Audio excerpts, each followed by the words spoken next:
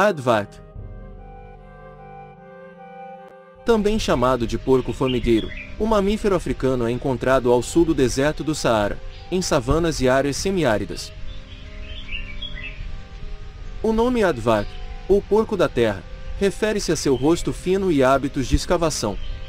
O porco formigueiro pesa até 65 kg e pode chegar a ter 2,2 metros de comprimento, incluindo a cauda pesada de 70 centímetros. O rosto do animal é estreito, com focinho alongado, olhos muito reduzidos e orelhas grandes de até 24 centímetros de comprimento. O pelo do porco formigueiro é ralo e cinza amarelado.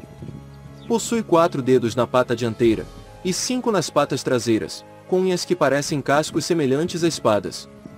Quando cavam tocas essas podem ter até 13 metros, com várias câmaras de dormir. Ele abandona as tocas antigas e cava novas tocas com frequência, para fugir de predadores. A dieta do porco formigueiro consiste quase inteiramente em formigas e cupins. Quando sai à noite, ele pode andar de 10 a 30 quilômetros, percorrendo caminhos em zigue-zague, parando frequentemente para cheirar e pressionar seu focinho contra o solo atrás de formigas. Os órgãos sensoriais carnais no septo nasal provavelmente detectam pequenos movimentos subterrâneos, e fica mais fácil para ele achar comida. Possui uma língua bem pegajosa, estendendo-se por 30 centímetros pois sua boca é bem pequena, é usada para lamber os insetos que estiverem dentro do formigueiro.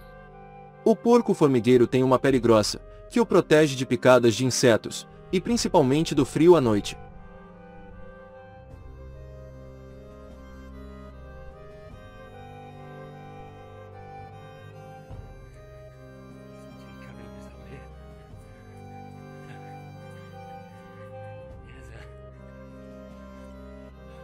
Se ameaçado enquanto está longe de uma toca, pode se esconder do predador cavando um enorme buraco em apenas 5 minutos.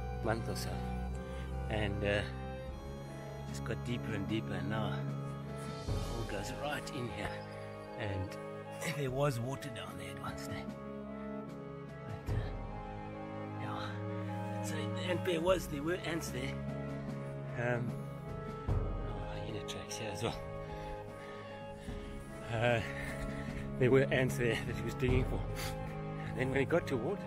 Os sexos se associam apenas durante os períodos de reprodução, Após uma gestação de 7 meses, nasce um filhote de cerca de 2 quilos, durante a estação das chuvas. Ao nascer, as garras já estão bem desenvolvidas. O jovem fica na toca por duas semanas, depois segue a mãe.